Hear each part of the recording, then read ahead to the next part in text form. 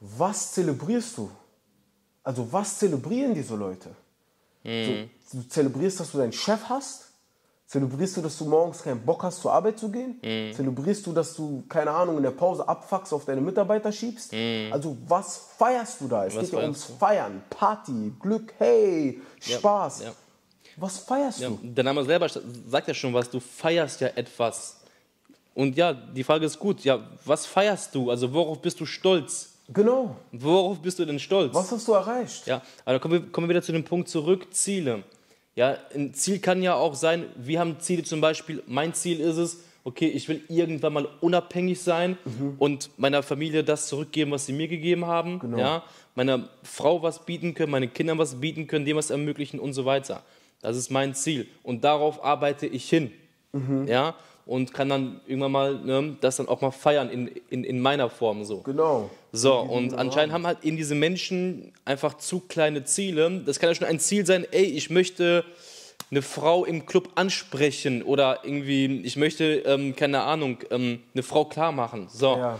Haben Bei die das Ziel, jungen Männern ist das ja immer das so, dann haben die das dann vielleicht erreicht, das Ziel, die haben eine Frau angesprochen oder irgendwie klar gemacht und das, das feiern die dann vielleicht, ja. Mhm. Es ist aber auch oft so in, in, in den äh, Clubs, dass man auch, es ist ja dann auch so, dass man einfach gesehen werden möchte und da geht es auch viel um Aufmerksamkeit. Das heißt, du holst dir dann auch diese, vor allem die Frauen, ja, no, also ne, jetzt nicht, also ni- nichts gegen die Frauen, Kein aber Sosa Vibe.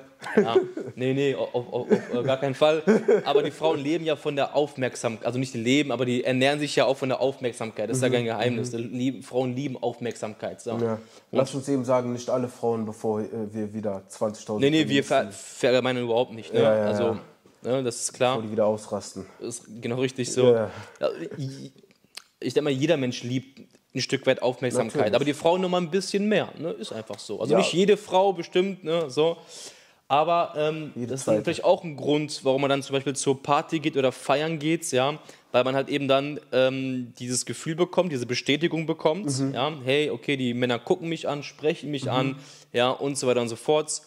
Und ähm, das ist dann vielleicht auch ein, ein, ein, ja, ein Erfüllendes Gefühl, auch vielleicht für einen kurzen genau, Moment, für dieser einen kurzen Moment, richtig, ja. Das Problem ist aber jetzt, du hast jetzt angesprochen, dieses, also ich spreche jetzt mal kurz die jungen Männer an, weil das ist auch so oft bei denen, also auf die gehe ich auch oft ein in meinen Videos äh, tatsächlich, Mhm. weil da ja oft, wenn man jung ist, 18, 19, 20, beginnt das ja so, ich will feiern gehen, Mhm. ich will rausgehen mit meinen Jungs, dies, das, Spaß haben. An sich hört sich das ja erstmal nicht schlecht an. Ich Mhm. gehe da nur hin, um Spaß zu haben mit meinen Jungs. Aber ein primärer Faktor der ganzen Clubkultur ist ja auch verbunden mit der Datingkultur. Mhm. Sprich, man will eine Person kennenlernen. Mhm. Aber realistisch gesehen. Und das ist einfach so. Und das kann man auch sagen, weil wir reden jetzt auch nicht aus der Perspektive von Typen, die nur zu Hause rumsitzen Mhm. und äh, sagen, die noch nie feiern waren und jetzt das einfach nur haten. Mhm. Realistisch gesehen, von 20 Jungs, wie viele gehen nach Hause mit einem Mädchen? Vielleicht einer oder zwei. Ein oder zwei. Ja, also Erfa- also es ist ja so, ich war ja auch früher mal feiern, ja, und ich spreche auch aus, auch aus Erfahrung und kann auch daraus äh, Schlussfolgern, ja, das ist einfach, einfach, das bringt dir einfach, im, das bringt dich im Leben nicht weiter. ja, das ist überhaupt nicht, genau. Und du hast auch, auch vorhin auch, auch einen wichtigen Punkt angesprochen. Ähm, das ist ja auch kein Fortschritt, den man da irgendwie bekommt. So. Und wie ist es? Es ist nun mal so, dass das kann man sich gut wie mit einer Pflanze, mit einer Blume vorstellen. Wenn die Pflanze, die Blume, nicht wächst, nicht größer wird, dann stirbt die Blume aus. Ja, So, Genau. und das ist mit uns Menschen genauso. Ja? Wie viele, wie viele, schau dir das mal an, wirklich jetzt ähm, von der Statistik her, ja? Wie viele Menschen, die dann immer mal in Rente gehen mit 67, 68? ja, sieb- Ja. 67 ist, glaube ich, So. Ja. was ist? Diese Menschen haben keine Ziele mehr, Mhm. nichts mehr, wofür die irgendwie arbeiten oder so. Ja, und was ist? Ein Jahr später sind die tot. Die sind Stimmt. tot. Weil Stimmt.